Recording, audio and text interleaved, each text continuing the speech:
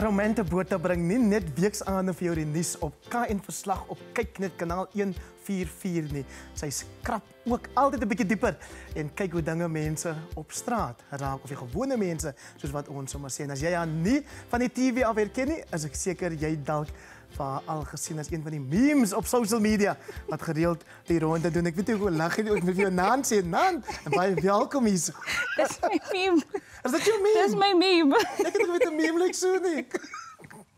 Nee. Sê of- nine time. Jy sê vir my of jy nog altyd 'n joernalis wil geword het. Ek ek dink ek wou altyd 'n joernalis wees, hè, nommer 1. Ek dink journalistiek was enigsins op my radar nie. Ek dink dit was net 'n geval van ek weet ek hou van my Afrikaans en my Engels en ek hou van skryf en ek hou van praat so nou en dan, maar op skool was ek baie stil. Stiller. En toe besluit ek maar okay, kom ek doen iets wat waar ek my Afrikaans en my Engels kan gebruik en waar ek kan skryf. En toe gaan ek universiteit toe en toe doen ek Afrikaans eerste taal en Engels eerste taal en toe besef ek no girl. That's not for you. So toe het ek in, uiteindelik in journalistiek beland en ja, ons kan seker later daaroor. Is daar enigiemand in die familie wat iets doen wat naasten by met media te doen het? Nee. Nee? As jy nou hier sit en jy word nog geïnterview terwyl jy gewoonte aan is dat jy vir ander mense vra vra. Hoe ver... Ek het nog iets goed. Baie baie vreemd. Okay. So so so joernalis wees begin vir die meeste in in jou geval is dit ook so dat jy in die nuuskantoor met skryf begin. Ehm um, het jy ooit gedink dat jy uiteindelik 'n TV-joernalis sal word? Wel, ek dink vir Ek hoor hoe enige mooi sê ek dit.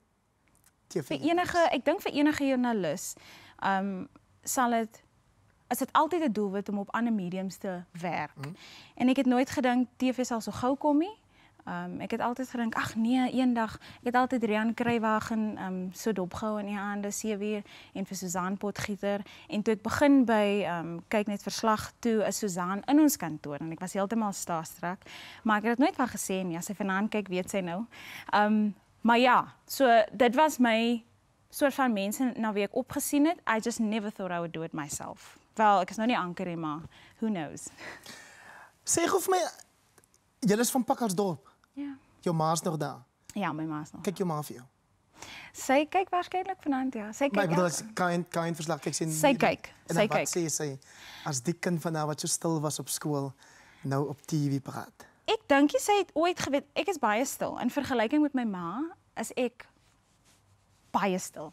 My ma kan 'n hond uit 'n bos uit praat en ek dink sy dink dat ek so baie praat. Nee, maar ek doen.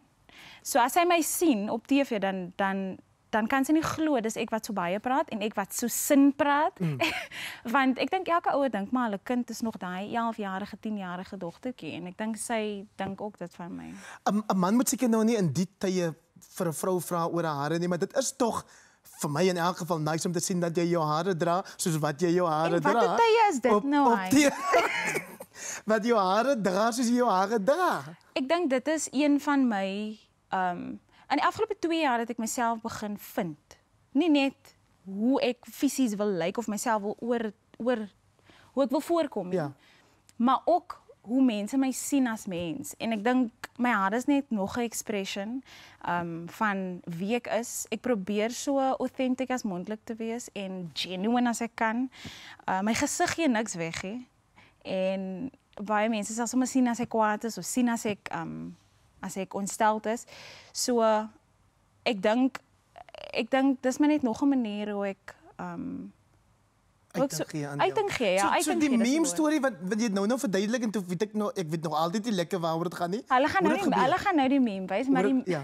die meme was ons was ons het gaan skiet 'n PTC, 'n piece to camera waar ek nou in die kamera aan kyk en met praat. Toe het my kameraman opgestel maar so omtrent so 3 meter ver van my af. En die mense shop waar ons is in is 'n is 'n square. Mense shop en die mense hou hulle nie hulle hou nie dop wat hier aangaan nie. En elke 3 sekondes, net wanneer ek my PTC wil begin, dan loop daar iemand verby die kamera. Uh, En ek dink dit was seker die vierde persoon wat verbygeloop het. Toe maak ek so, maar met die mic in my hand nog. En seker so weke daarna toe maak hy 'n screen grab en hy sê vir my this is such a meme. Uh. En die eendag toe gebruik ek dit op my WhatsApp en iemand steel dit en ja. hulle gebruik dit op Twitter en dit word vandag nog gebruik vir enige iets. so so jy's in die nuus en ons ons weet dat daar as hierdie ding wat corona of COVID-19 genoem word wat deel geraak het van ons lewe. Ehm um, hoe doen 'n mens jou werk in so 'n tyd wanneer daar soveel menslike lyding is en waar jy so versigtig moet wees in elk geval? Die tipe stories wat ek doen is altyd daar's altyd 'n menslike angle daaraan. En dit was vir my so moeilik die afgelope tyd om om dit te doen want ons ons moet versigtig wees. Ons kan nie nou in mense se huise gaan sit nie en en dit dit het 'n hele manier van storie vertel. Het dit soort van onpersoonlik vir my gemaak en vir hoe ek stories vertel. Um maar ek dink enige joernalis uh is maar of was maar die afgelope tyd bietjie paniekerig en ook 'n bietjie versigtig vir hoe hulle nog steeds hulle werk kan doen sonder om die virus te kry. En en dis maar gevaarlik. Ek meen ons is soos hulle sê essential workers. Ja. Ons essential workers. Ja.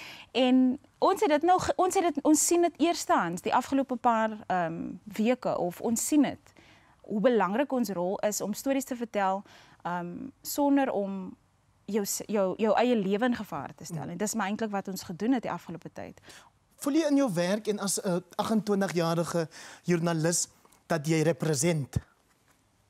Represent wat nou? Jou gemeenskap, jou jou ehm um, wat sê mens jou gen generasie? Ehm um, ek sou sê ja. Tot 'n tot 'n mate. Ek is maar meisiekind van George en ons mense van George is nie soos die die Weskaapenaars van die Kaapie. Mm. So baie keer as ek in Johannesburg gaan sê mense, "Oh, but you don't sound like you from Cape Town." Maar ek is nie van die Kaapie want hulle dink mos die Kaap is is is die hele provinsie. Ehm mm. um, so en hoe ek lyk ook is is nie noodwendig die die brein meisiekind van van die Kaapie. So dis 'n dis 'n bietjie van 'n 'n conundrum as jy my sien. My van is nog bote ook so. As ek op die foon met jou praat en jy sien my, it, it doesn't make sense. I'm a bit of a conundrum. Maar ja, dit ek kan ek kan sê ek represent maar nog heeltemal nie. 20 sekondes is al wat ons oor het. Nou wil ek jou weet ja. of Joburg nou huis is vir jou. Joburg is huis. Joburg was altyd huis omdat ek hier geswat het in Vanderbijl en die Kaap Ja, mense gaan kuier daar, maar Joburg is nou huis. Baie dankie dat jy vanaand kon saamgesels het. Romente in rooi bota.